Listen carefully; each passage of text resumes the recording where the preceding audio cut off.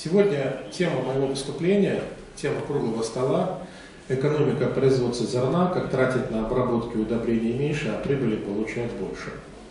Я буду разбирать не всю технологию производства. Я возьму сегодня аспект, связанный с питанием растений, потому что это самое больное.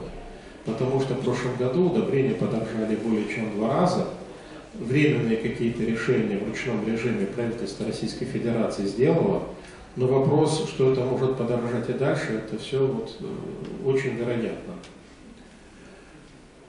А, выступление идет в рамках общей темы необходима всевозможность смены агротехнологического уклада в сельском хозяйстве, экономические и экологические аспекты. Я совершенно разные аспекты рассматриваю. И если мы говорим вообще о сельском хозяйстве как виде деятельности, нас интересует самая простая вещь.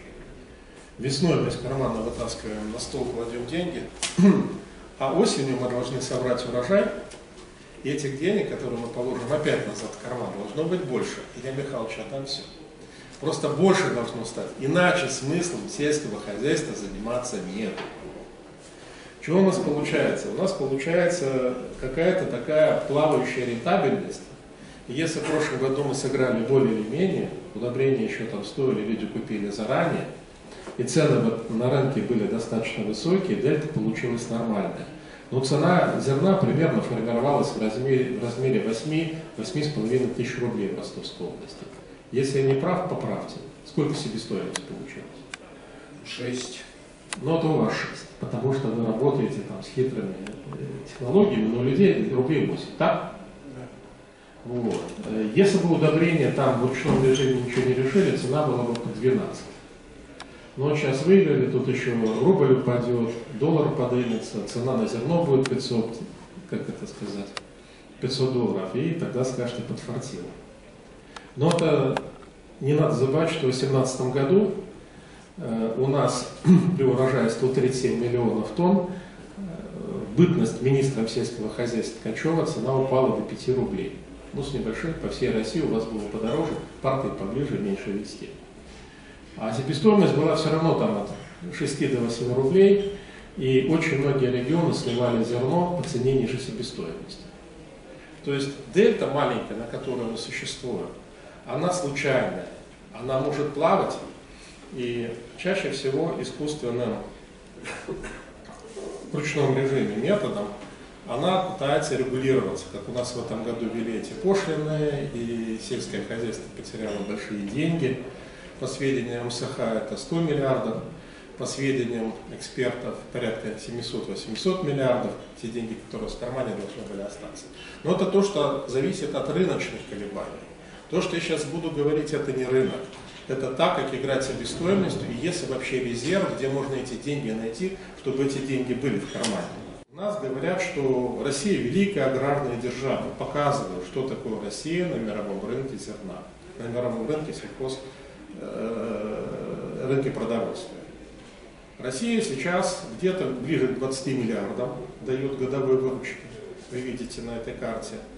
Аргентина дает два раза больше с такой же самой площади. Бразилия дает в четыре раза больше примерно с такой же площади. И Бразилия сейчас получает основную массу продукции земли, которая считалась изначально непригодной для сельского хозяйства. Сейчас разбирать не буду, на других презентациях эти вещи разбираю. И Аргентина, и Бразилия, они используют технологии, там нет никакого государственного датирования, за счет того они какие-то технологии используют, они имеют огромное преимущество. А США это вообще великая аграрная держава, которая дает 8 раз больше, чем Россия.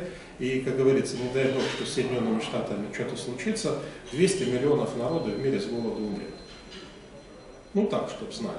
А мы вон так, как бы у нас такое свое уверенное место, я вам показал. Теперь, по технологиям. Нам нужны технологии.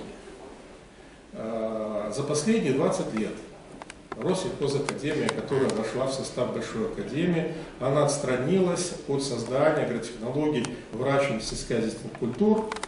Она не хочет тут принимать в учет, э, что солярка подорожала, что удобрение подорожало. А насколько удобрения подорожали? Вот раньше за 1 килограмм зерна давали 3 килограмма фосфорных удобрений. А сейчас за килограмм зерна дают 100 граммов фосфорных удобрений. Раньше за один литр солярки давали килограмм зерна, а сейчас за килограмм зерна, ну, я не знаю, полтора стакана, два стакана. Э, в смысле, э, как это сказать, неполный стакан можно иметь. А все технологии, которые преподаются в техникумах, я сам техникум заканчивал сельскохозяйственный, я заканчивал академию, все технологии 80-х годов, когда было совершенно другое соотношение денег. И вот э, позиция Минсельхоз прихожу, говорю, знаете, вот мы, а я представитель Национальной технологической палаты, я езжу в Бапиру, изучаю опыт, говорю, знаете, у нас вот это надо сделать, вот это. Они рассуждают примерно так. Придет толстый, жирный инвестор с баблом, с технологиями, все вложит и все будет хорошо. Делать никто ничего не хочет. Ни Россельхозакадемия, ни Минсельхоз. Они ждут, что добрый дядя из-за океана что-то принесет, им положат на стол. Ну, как бы сказать, мы видим, что никто ничего не приносит, а вот у нас э, вот это диспаритетный рост цен и вот эти вот много-много разных диссертаций, много-много статей, но я говорю, что это детали, это все какие-то частности, нету технологий, никто их не собирает. Вот Аргентина сделала скачок, потому что создала институт ИНТ, Институт агротехнологий, они говорят, нам плевать на ваши споры по агрохимии. Нам нужно дать крестьянину, чтобы он деньги вложил, а потом денег заработал больше. Нужны ему технологии, не нужно ему рассуждать в частности какие-то вещи. И они издают большого формата книги каждый год, пшеница, кукуруза, рапс там, и так далее. И там полностью каждый год технология на газетной бумаге полностью расписывается, все новинки, что надо делать, чтобы нет деньги. То же самое в Бразилии, там большая технологическая ассоциация Эмбраса, то есть они вот не лезут вглубь, вглубь. В общем, им нужны летающие самолеты, она предлагает мешки с деталями на самолет. Когда я изучал, э, можно показать, конечно, этот фильм, в 2006-2007 году выступал Майкл Корш, вы слышали сиелки Майкла Корша, я был в Агросоюзе Днепропетровске, он рассказывал про технологии, он говорил, ну сколько нужно получать гектаров. И он приводил в пример одного фермера немецкого, его друг в Западной Германии приехал в Восточную, взял 200 гектаров земли, сейчас, по-моему, 1004, когда мы были последний раз, и выбрал все. То есть это вот от Гамбурга несколько часов в сторону Польши, ближе к границе Польши. И он получал ну, тысячу долларов с гектара чистой прибыли. Вот это дяденька, вот это его рапс, по-моему, где-то, я думаю, 60 центнеров там есть как минимум. Вот это мне ребята, которые возили, это ячмень 90 центнеров, это пшеничка. Вот 120 центнеров пшенички он берет. И мне, конечно, было интересно, а еще этот Майк Хорш нас накрутил, он сказал, вы знаете, он как-то очень хитро работает, он поднимает растения, он кормит растения из ложечки, по чуть-чуть, по фазам. Ну, мне было, я загорелся, думаю, все, начнем, начнем искать эти фазы, когда кормить пшеницу. Я нашел книжку Гробовца, там это Тазима и Критикали, что-то там, потом еще, потом еще, потом выловили где-то там, э, технолог такой есть, э, прибалтийского происхождения, Петраускас, приезжает иногда, и вот у татар он ведет какие-то холдинги. Он специалист по питанию растений, он работал в институте Либиха. Но очень интересная вещь. Когда мы разобрали, да, приехал к директору Рива, я говорю, слушай, расскажи свою технологию. Оказалось, что технологии не, не оказалось. Нет. Он сказал, знаете, э, Майкл Хор что-то напутал. Мне очень интересно то, что вы говорите. Мне это не понимаю. У него кондовое применение карбамида, у него кондовое применение селитры, в хороших дозах, хорошие эти фазы. Э, через день, через два у него обязательно дождь, потому что там недалеко Балтика. И вообще он может себе позволить такие технологии, такие урожаи. И все, что он делает, это просто хорошая техника, там правильно положить семена, калиброванные семена и так далее. И когда мы эти все вещи рассмотрели, и он нам рассказал, оказалось, что опыт передовых фермеров Европы, а мы же хотим все время привести из Запада, из Запада, у них там все хорошо, там, а он не годится для нас. И он говорит, что он ведет очень много таких вот э, групп, и немцы стали осваивать Западную Украину, под Винницей пять человек взяли силы. И он говорит, пять лет работали, пока на пятый год они перешли к рентабельности нулевой. Все были в минусах. Нельзя переносить технологии просто так, взять здесь и засунул дальше. Вот. Но меня интересовал такой момент. Вообще, Можно ли получить доходность гектара посева пшеницы 1000 долларов США в условиях российского климата? Принципиально, можно или нет? Ну, где-то к 15-16 году у нас был один клиент в этом. Я могу там кое-какие фотографии показать в Зерноградском районе, который подошел э, к доходности посевов 1000 долларов с гектара. У него было 1200 гектаров, я думаю, чистых миллион двести он клал долларов. Но миллион двести это хорошие деньги, там завод себе купил потом. И вот у нас идет снижение курса рубля или внедрение новых подходов в земледелие. Теперь мы говорим о ресурсах. Откуда вообще ресурсы в сельском хозяйстве берутся? За все ли мы платим в сельском хозяйстве? Оказывается, не за все. У нас есть природный ресурс бесплатный, бесплатный источник естественного плодородия почвы, солнечный свет бесплатно, атмосферные осадки бесплатно, как источник влаги и так далее. Он все равно дает. Даже если удобрения не положим, в условиях Ростовской области озимой пшеницы 12 центнеров получим. Если подумаем, как сделать, можем больше получить. И был, вопрос вообще стоял такой, ну я дальше сейчас пойду, еще есть плавный ресурс. Не хватает почного плодородия, мы хотим, хотя хотя бы 40 значит мы кладем минеральные удобрения, э, не хватает влаги, значит надо поливать, не хватает, потом за горючку платить надо, фонд оплаты труда, зарплату надо, технику покупать надо, это платный ресурс. И вот то соотношение, которое у нас может получиться, мы можем выиграть только если мы сделаем бесплатный ресурс и научимся грамотно работать с платным ресурсом. То есть эти две вещи не взаимозависят. Чтобы выхлоп давать за то, что мы платим, и как сделать так, за что мы не платим, чтобы это работало лучше. И на все это накладывается диспаритетный рост цен, э, рост цен на платный ресурс оказался за последние 30 лет выше, чем э, цены на зерно.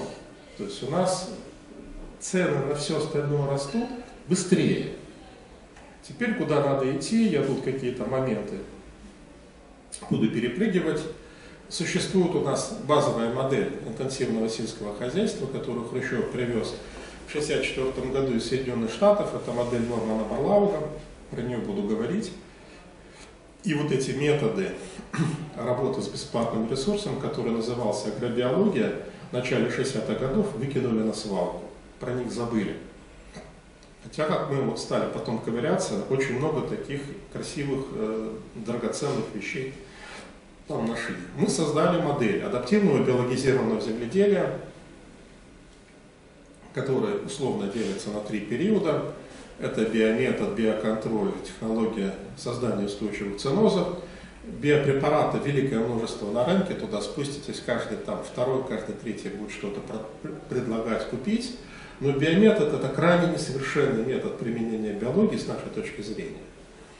По той причине, что он дает всего 5%, максимум 15% прибавки урожая. Иногда может сыграть в минус.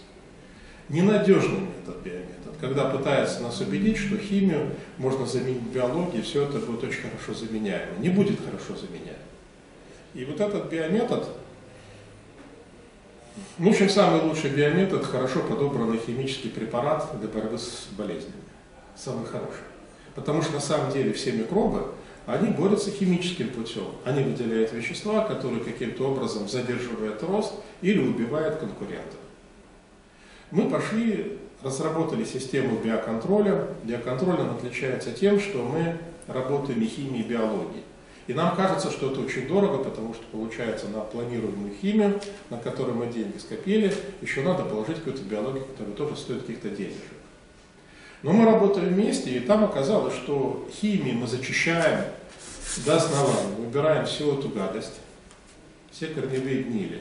А потом на это место, а мы берем микробы, которые совместимы с химией. Это есть те, которые говорят микробами в нехлорированной воде, где то найдешь нехлорированную воду, не знаю, ну где-то находят. А мы мешаем с химией, потому что мы знаем, каких зверей с какой химией мешать можно. И тогда мы начинаем химией зачищать, а эту территорию заселять полезными организмами. Вот это наша фишка, мы на ней можем получать не 5-15, а 40-250% прибавки урожая. А еще есть технология создания устойчивых ценозов. Это работа 80-х годов. Ни в одном учебнике, ни институтском, ни тем более э, техникум искал нет, там вообще можно там, ну, до предела генетического потенциала. На яровой пшенице я там буду показывать, нам удалось у соседей 22-24, ну, в Красноярском, Красноярском крае в этом году, получили, в прошлом году получили 80-90 центнеров с гектара на 85-дневной 85 яровой пшенице. Итак, базовая модель, на которой мы сидим, система интенсивного сельского хозяйства или модель Нормана Барлауга, она стоит на четырех китах. Лучший сорт или гибрид, много-много минеральных удобрений, полностью не учитывается почвенное плодородие, как будто оно не существует. Хорошая защита растений с помощью химических средств защиты растений и по возможности полива. И у нее последствия она стала разрушать почву. И удобрения дорожают, химия дорожает, гибриды делают, и они тоже дорожают, и все это очень дорого, и почва в плохом состоянии, влагоемкость повышается. У нас есть модель. Грамотная защита растений, химия плюс биология. Немножко я сказал, она нам позволяет совершенно по-другому использовать химию и совершенно другую эффективность биологии получить. И забегая вперед, скажу, мы работаем со сложными препаратами. У нас один препарат бывает до 15 микрон. Второе. Восстановление плодородия почвы через работу с пожнивными остатками. У нас получается, что в том севообороте, который сейчас есть, классического севооборота рекомендуемого нету. У нас единственный источник углерода, ну то есть питания для почвенных существ, оказывается растительные остатки которую мы стараемся сжечь, потому что там огромная куча инфекций, потому что у нас нет сервооборотов, у нас есть коммерческий плодосмен, мы выращиваем только то, что хорошо продается, а нам приходят агрохимики и говорят, ребята, вам нужно сеять люцерну. Ну, хорошо, посейте люцерну, что вы с ней будете делать? Животноводства нету. Вам нужно вносить 30-60 тонн навоза на гектар а у вас навоза нету, потому что животноводства нету. Вам нужно то-то, то-то, то-то. У нас идет сильный диссонанс с рекомендациями, которые есть, история реальной жизни, в которой мы живем. Что мы предлагаем, предлагаем и придумали? Мы говорим, солома есть. Это головная боль, потому что на ней 75% инфекции. Вот мы сделали закваски. Это не триходерма, у нас свои закваски, у нас 4 закваски сложные закваска должна съесть эту солому, превратить ее в землю, превратить в компост, который должен разрыхлять землю. Тоже потом немножко про это скажу. Третий момент – дробные некорневые подкормки минеральными удобрениями по фазам развития растений. Буду говорить, как сделать так, чтобы удобрения у нас хорошо работали. Самый лучший способ – это по листу работать по чуть-чуть. В чем соотношение, то, что можно по листу работать. На 150 килограммов карбами, э, на 150 килограммах касса порядка 55-60 центнеров в вашей области можно иметь. Только это дробные подкормки. И три, четвертое, стрептил и наутил. Так вот будем разбирать это. Это оформилось в систему адаптивного биологизированного земледелия. И 30 ноября 2021 года мы получили орден за заслуги от Российской Академии естественных наук и диплом лауреата первой степени за разработку системы адаптивного биологизированного земледелия. То есть мы признание как таковое научное получили. Вопрос, начали работать, и у меня сейчас получается, что я по всей стране работаю по чуть-чуть. Здесь есть ростовское отделение, вот директор ростовского отделения Илья Михайлович сидит, и есть агрономы, которые ведут хозяйство. Есть люди, которые с нами работают, упрямые, они хотят делать по-старому, а я с ними постоянно ругаюсь и говорю, понимаешь, я хочу, чтобы у тебя денег больше было. Ну зачем ты опять купил эту селитру, когда можно было купить? Он говорит, а у меня касс, я не могу его куда налить. У меня нет емкости для кассы. Я говорю, ну слушай. Мы не работаем по-старому, мы работаем по-разному. Мы работаем по-разному. Вот нужно работать по-правильному. Итак, три базисных основных фундаментных элемента земледелия. Какие они? Обработка почвы. Будем сегодня разбирать. Не факт. Вчера разбирали что самый лучший способ обработки почвы ее не обрабатывать. Но чтобы ее не обрабатывать, мы должны сделать так, чтобы почвенные существа сами эту почву рыхлили. Чтобы появились черви, появились клещи там и все, все такое прочее. Если мы не запустим биологическое рыхление почвы, мы разоримся. Поэтому наутил палка о двух концах, и там самое главное правильно начать. Кто правильно начинает, тот пьет шампанское. По питанию растений два слова скажу. Есть бесплатный ресурс плодородия почвы. Что такое плодородие почвы? Это способность почвы обеспечить растения всем необходимым. Питанием, воздухом, водой. У нас путаница. У нас принимают закон об охране плодородия почвы, в котором нет ни одного слова про плодородие почвы. У нас агрохимики говорят, вот ты из почвы взял, ты должен туда что-то вернуть. А мы придем, померяем химическим путем, сколько у тебя НПК. Они меряют доступные НПК, доступные растения. На самом деле еще валовые есть. Фосфора, например, то, что меряют агрохимики, в 200 раз больше, чем они меряют. Другой вопрос, как до него дотянуться, как сделать так, чтобы работать не на 20 сантиметрах почвы, а на полутора метрах почвы. Это вопросы. И вообще мы должны понимать, что удобрение минеральное – это способ повышения урожайности растений, и это то, что гробит плодородие почвы. Потому что будем разбирать, сколько вообще от почвы можем иметь. И дальше я перехожу вот к такому интересному графику. Я его взял в Институте агрохимии имени Пряничникова, удобрения агрохимии Пряничникова. Какая отдача на выделенные ДВ? То есть если по логике прямой идти, чем больше удобрений положишь в почву, тем больше у нас урожай чем выше плодородие почвы. Оказывается, что все не так, а китайцы, как у нас народ буквально все понимает, они кладут условно на гектар э, полторы тонны минеральных удобрений и получают 60 центнеров зерна, там кукуруза, пшеница, 60 центнеров всего отдачи.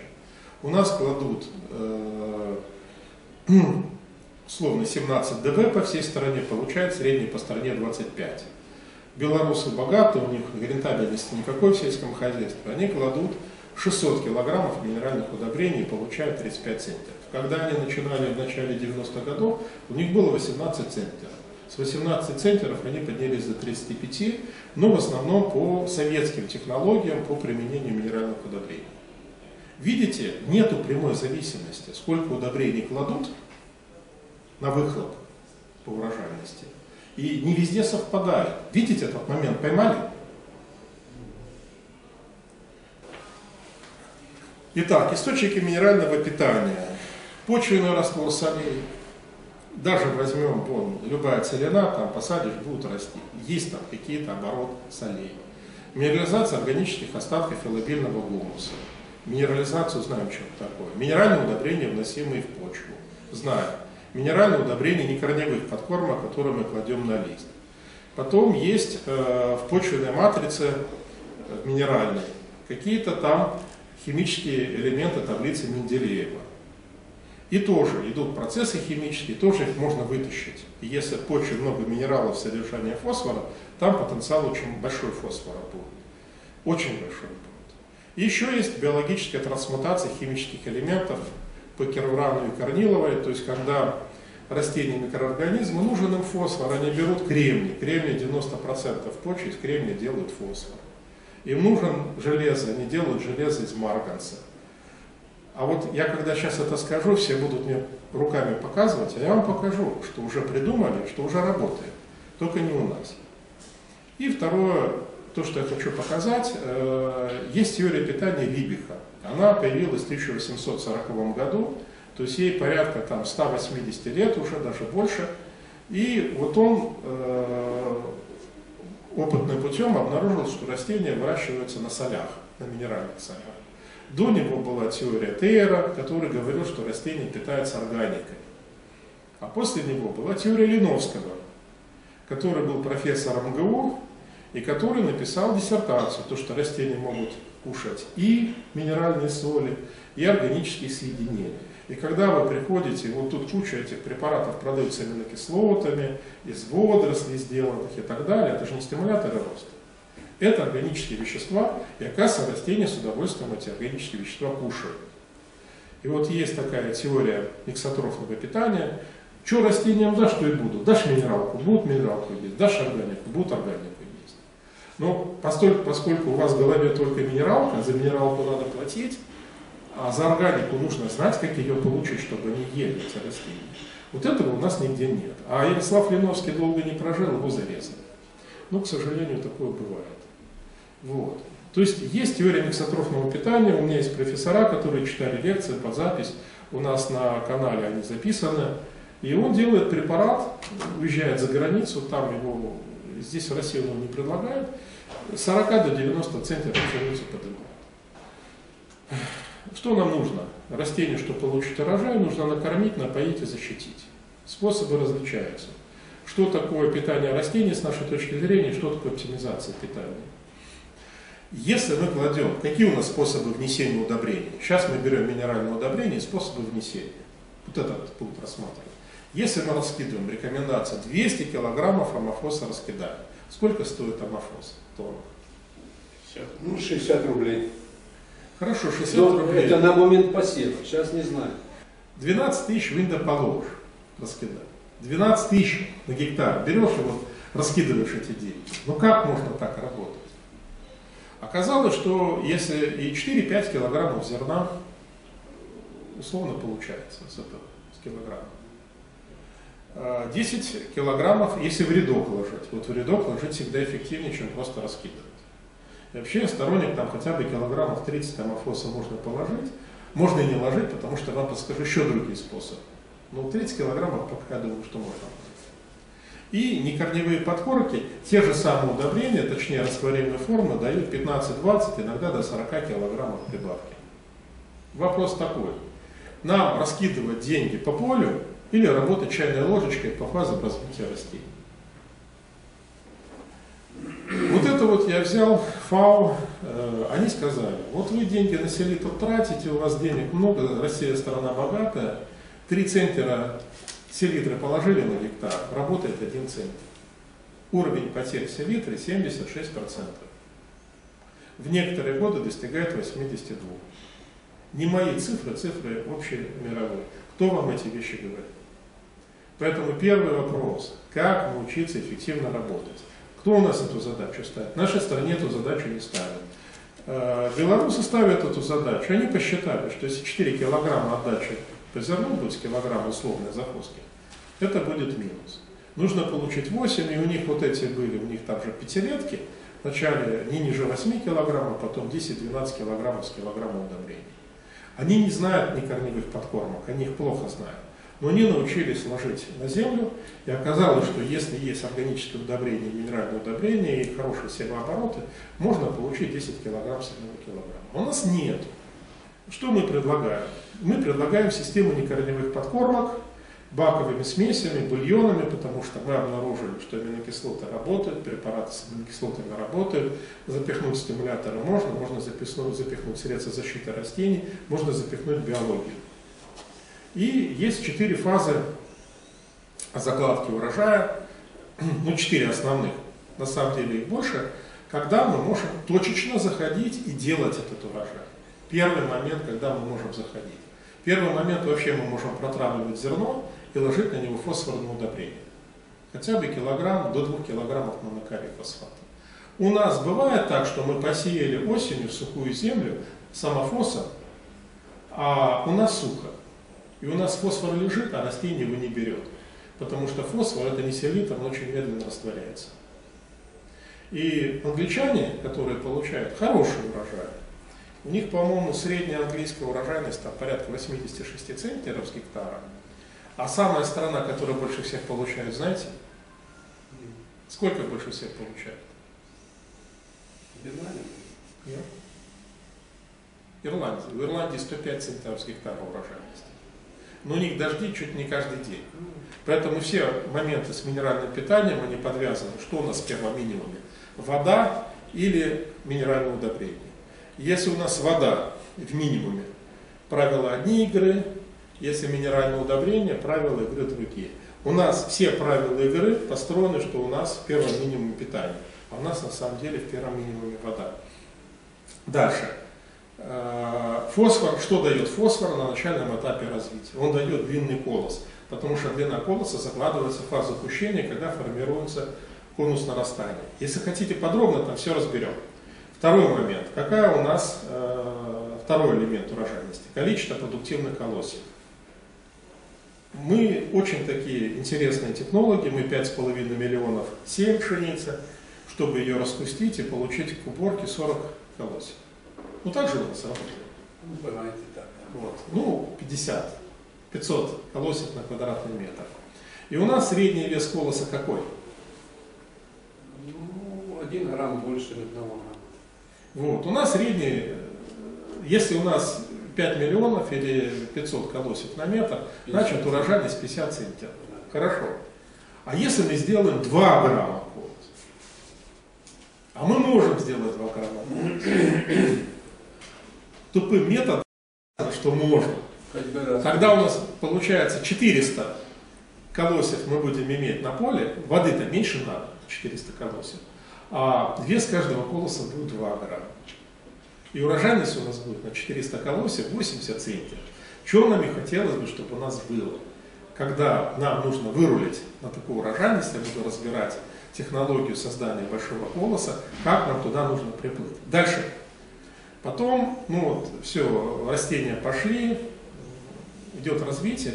Помните, часто бывает колос есть, а внизу раз, два, три пустых колоска не заполнились. До флаговый лист. Что там вообще происходит? Там происходит просто растению не хватило чуть-чуть азота, от 5 до 15 килограмм касса вы дали или карбамид, и у вас был бы забитый полностью выполненный колос. Но вы не знаете об этом, потому что все деньги вы выкинули весной по таломерзлой почве, а потом еще кинули начало выхода в трубку. И до того, а то, что вы кинули эту селитру, 21 дней хватает. И когда у вас нужно ее срочно, ее нету. Все, она кончилась, она растворилась, ушла, испарилась. То есть вы уже не знаете. Дальше что? Сколько у нас зерен в колоске бывает? В колоске. Сколько зерен бывает? Ну, три. Три бывает. Если будет четыре, на сколько прибавка урожая будет? А если будет пять? Хорошо. А мы можем сделать так, заставить, чтобы растение могло завязать 5 зерен. Оказывается, можем. Потому, почему? Потому что у пшеницы, у него на каждый колосок 10 цветов. И когда флаговый лист стоит веслом, потом он опускается коромыслом, в этот момент, если ты договоришься с этой мамкой, она не будет этих детей абортировать. Ну, на 5, на 6 свободно уже договариваться. Мне иногда договаривалось, удавалось до 7, я потом покажу такие колосья. Потенциал 10. Колос должен весить э, 2,5-3 грамма. Э, есть еще точка качества, молочно-восковая спелость, где можно заходить 4 килограмма карбамида и литр наших витаминов электрических для растений. У нас есть препарат Стимик Стандарт. Она вытаскивает 6 единиц клейковины. Если интересно будет, подробно остановимся. На яровой пшенице можно меньшими дозами работать. Но работать чаще. Почему на яровой пшенице меньшими дозами, чем на, на зимой? Я долго думал, почему такие рекомендации. Потому что у нас э, азотофиксация включается поздно. А зимняя пшеница приступает к вегетации рано, когда земля еще спит, микробы спят. Поэтому там подразумевается наличие азотных удобрений в больших дозах. А можно ли работать на маленьких дозах? Перейду дальше. Ну, если кому схема нужна, пожалуйста. И вот растворные узлы, вот у меня э, Башкирия, ребята притащили растворный узел с Таганрога. 550 тысяч заплатили. Но сейчас за 600-700 можно купить на рынке, даже на этой выставке. И вон они, э, у них 16 тысяч гектар, сейчас второй поставили. И они вот бочки набирают, а в ночь идут готовые растворы, готовыми растворами на поле работают. Там совершенно другие деньги, другой выход. И вот продукционный э, процесс, про который нужно пару минут, пару минут сказать. Когда нам предлагают какой-то препарат, нам его дают как кремлевскую таблетку. Используешь препарат, у тебя все будет хорошо, 40% получишь прибавки. Не будет ни на каком одном препарате 40%. 30 не будет. Только если будет какой-нибудь сильный стресс, а препарат окажется тот, который под этот стресс помогает. То есть у всех будет полная жопа, а у тебя будет более или менее, и там будет разница в 40 от этой полной жопы и от того, что у тебя есть. Нас вопрос интересует от среднего уровня, как поднять 40%. А там возникает, мы должны использовать не препаративный подход, а технологический. Нужно, чтобы работала корневая система. Вот здесь, я не знаю, видите да, поступление питательных веществ. То есть, значит, там правильно подобранный протравитель должен быть. Потом фотосинтез должен быть. Потому что все, что делает растение, только с помощью фотосинтеза.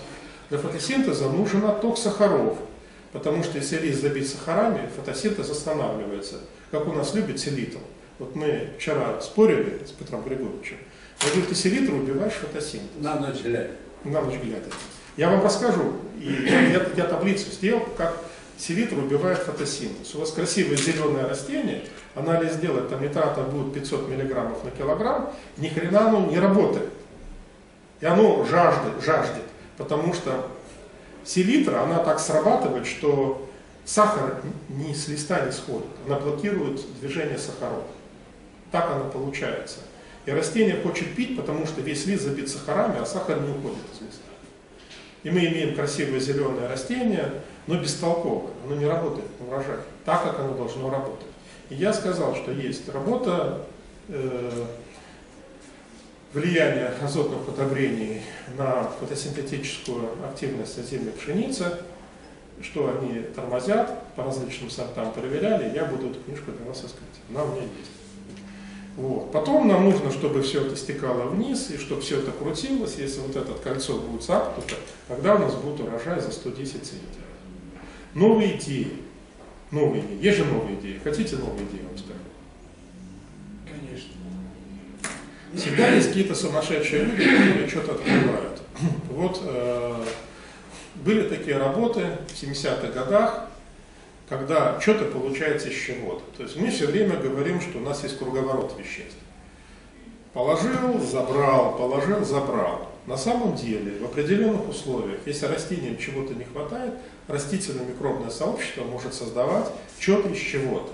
И это будет не химическое превращение, а физическое превращение, создание новых веществ. В 1993 году она физик, она руководитель целого направления в МГУ, они какую-то работу платную делали по экологии, надо было что-то подзарабатывать, а у них стоял анализатор из Бауровских ну, в этом в лаборатории. Они говорят, да давай-ка мы посмотрим, что там происходит. И оказалось, что у них в растворе дрожжи там были в активном состоянии, им не хватало железа, был марганец. Вот сегодня марганец есть, железа нету. А завтра железа есть, марганца нету. Куда делся марганец? Он же не убежал, но у него нету значит, эти дрожжи, они переработали марганец железо. И они открыли явление трансмутации. Они описали его, это толстая книжка, кому надо, на сон грядущий, чтобы лучше спалось, почитать. Я пришлю, у меня в PDF есть. И в оригинале она где-то есть. Вот. Потом оказалось, французские исследования были. И вот была конференция 2000 по-моему, третьего года на Урале взаимопревращение химических элементов. Это все серьезно, это большая академия. И они изучали, какие-какие элементы, что могут проходить. Оказывается, кремний, если там углерод присоединить, будет кальций. Если к железу углерод убрать, будет кальций.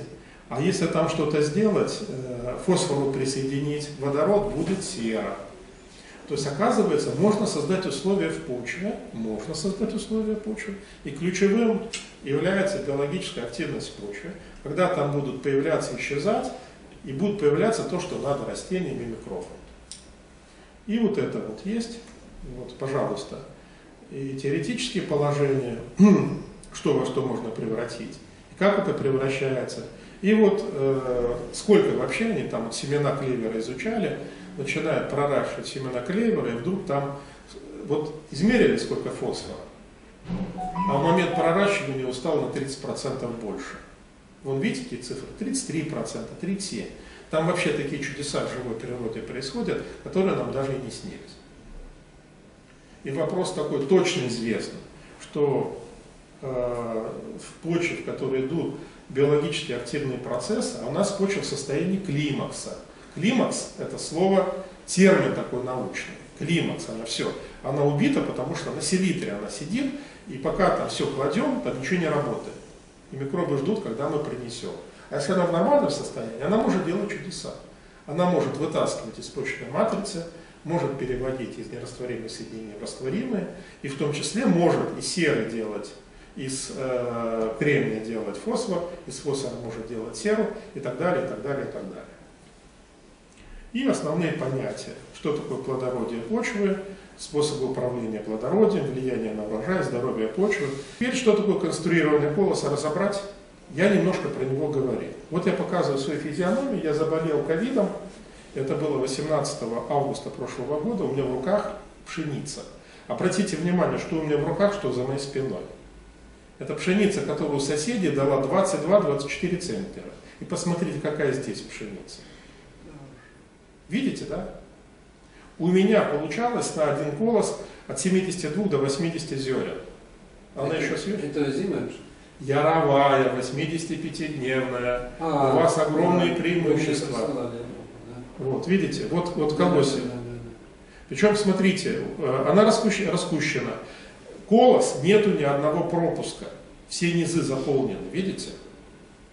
Хорошо, мы хотим заполнить низы, что нам делать? А в колоске сколько там было?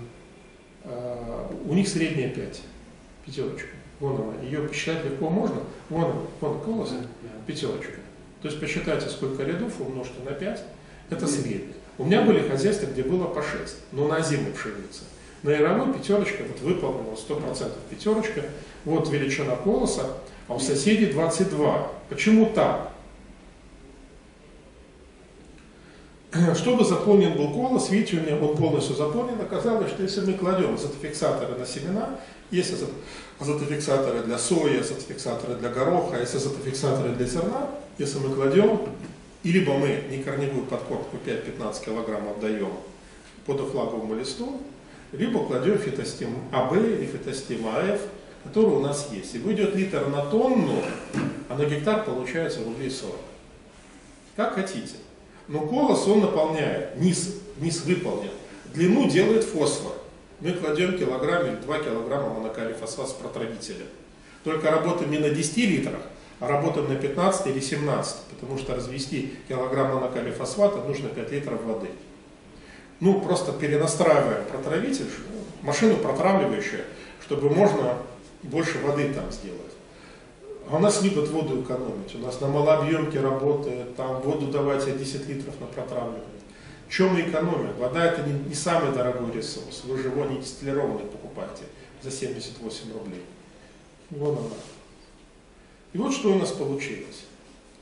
Яровая 85-дневная пшеница Новосибирская 31, урожайность 80-90, 400 колосьев на квадратный метр, 4 миллиона. Колос 72-8 зерен, вес более 2 граммов. Что мы делаем, чтобы она не сбрасывала? Чтобы она не сбрасывала перед цветением, ранний флаговый лист. У нас есть препарат агростимулин. Альфа. Препарату будет скоро 100 лет. Автор Фаня Григорьевна Гельцер, Тимирязевская академия. Получила за него Сталинскую премию 1946 года. Он хорошо стимулирует отрастание корневой системы, и его в огромном количестве выпускали, когда план преобразования природы шел, лесополосы сажали в степи, делали глиняную болтушку, 1 мл на 10 литров воды на глиняную болтушку, и растения приживались. Мы кладем этот препарат агростимулин на семена, потому что он у нас дает корневую систему хорошую, дает стабильное упущение троечку. Я Юру Перетятько, когда с 250 килограммов на 100 килограммов снимал норму высева, мы его только через агростимулин могли снять, потому что он боялся. Он боялся, у него не будут колосьев, пуститься не будут. Она дает гарантированную троечку. То есть полтора миллиона ты сеешь пшеницы, и свои четыре с половиной миллиона получаешь. Гарантированно. Потом мы работаем начало выхода в трубку с гербицидами, или там конец кущения, она дает устойчивость к болезням. И третья фаза, когда мы работаем ранний флаговый лист, она останавливает абортирование. У нас получается зерненный колос. Получите для, начала полтора грамма колос, у вас, наверное, 1,3, 1,4 должен был быть. Ну, хороший колос. Вот. И доведите до 2 грамм.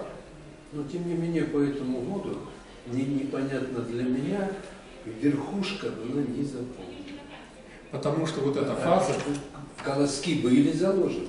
заложена. А, а, после- Значит, мы смотрим фазу, где она должна была закладываться. Я думаю, у вас были дожди, они вымыли, вымыли азот очень сильно. Это фаза до флагового листа. Ну, 5-10 килограммов кассовой карбамида, ну, главное, все это решили. Потому что там получается э, в начале Но это в длинноколосах. кстати.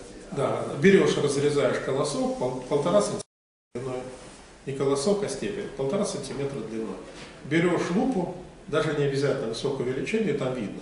Колос наливается вначале м, э, в середине, потом вверх, потом вниз.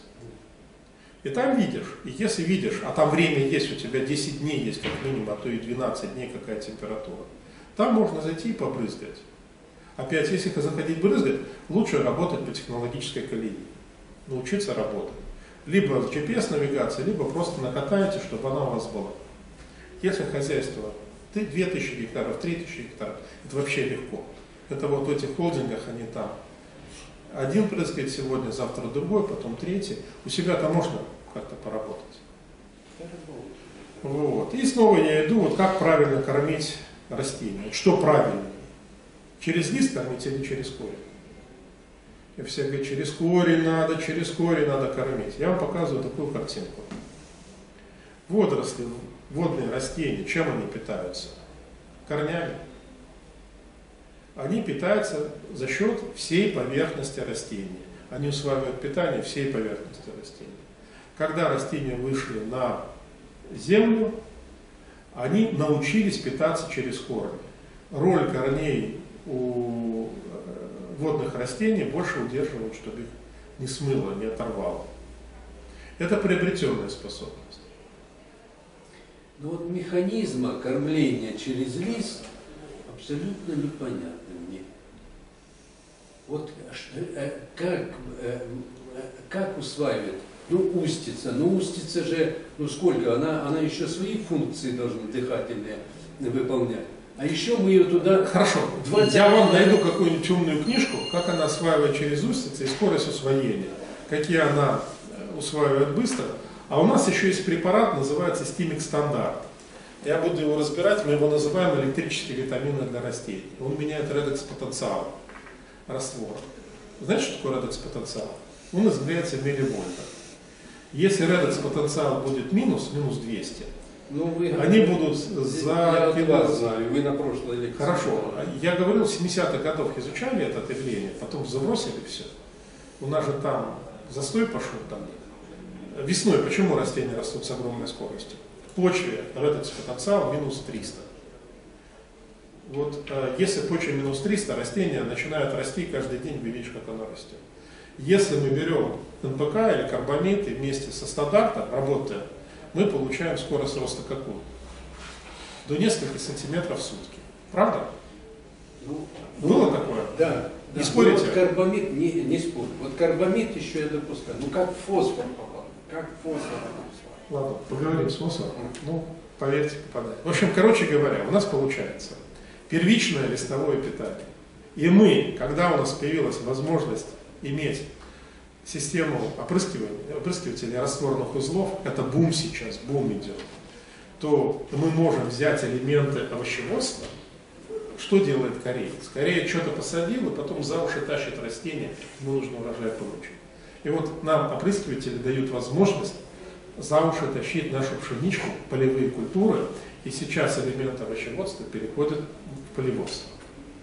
Это очень интересно. Сегодня вы просто меня так зацепите чуть-чуть.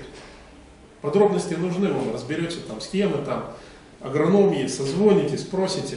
Я вам просто вношу основы. Первичное листовое питание. Кроме того, есть такое по органическому сельскому хозяйству. Он умер в 94 года, я с ним встречался в 2010 году на Украине, в Крыму тогда, э, дед. Он говорил, что корневая система не предназначена под селитру. Она может качать почвенные растворы и воду качать. Когда мы туда сыпем соль, растению очень плохо. Оно может и это сожрать. Потому что вот что даешь свинье, то она и съест. Но для нее нехорошо. У растения специализация корней. И корни, когда растение вышло, первый минимум какой у нас? Первый минимум у нас вода. В нашей зоне вода. Поэтому растения воду берут через корни.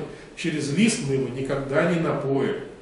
А накормить можем, а напоить не можем.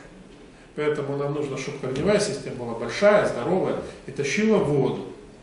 И всякие питательные вещества, что она зацепится этой водой. Но другого источника нет. А растения вести через лист мы можем. Есть целая индустрия, как этим работать. И вот электрические витамины для растений, как они усиливают усвоение и все такое прочее. Если надо, мы потом поговорим. И вот у нас получается схема. На 8 тонн там нам нужно э, 180 килограммов умножьте на 4. Это э, почти 600 килограммов селитра. И так работает этот. И фосфора нужно 2 центнера, 4 центнера здесь, почти 3,5 центнера амофоса. Так, правильно, да? Ну да. 10 килограмм. И все это будет стоить астрономические действия. Э, Они разорили 600 миллионов долгов. И у меня ребята туда зашли и работают сейчас вот с такими надувными шинами. Они всего азота кладут 20 килограмм, а два раза по 20 килограммов кассы.